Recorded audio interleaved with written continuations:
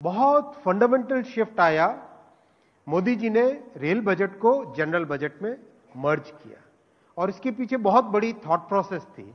जब अलग बजट होता था, तब भारत सरकार का एक विभाग रेलवे को जब पैसे देता था, उस पर ब्याज लगता था। मोदी जी ने तुरंत इस इलॉजिकल बात को खत्म करके रेल बजट और जनरल बजट को मर्ज किया। और उसका रिज़ल्ट क्या आया? जहाँ तीस हज़ार के आसपास, तीस हज़ार करोड़ के आसपास रेलवे को भारत सरकार नए इन्वेस्टमेंट के लिए देती थी। वो आज संख्या कितनी है? दो लाख चालीस हज़ार करोड़।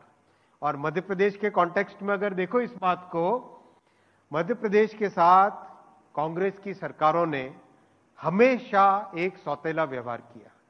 बात करेंगे मध्य प्रदेश के डेवलपमेंट की, लेकिन वो कन्वर्ट नहीं होता था फंड्स में। 632 करोड़ रुपए per annum average Madhya Pradesh को मिलता था।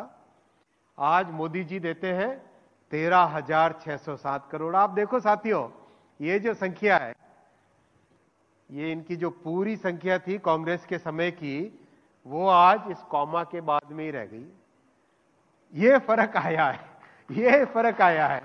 सोचने का तरीका और जो मोदी जी का प्रॉमिस है, उस प्रॉमिस को यहाँ पे इंप्लीमेंट करने का तरीका।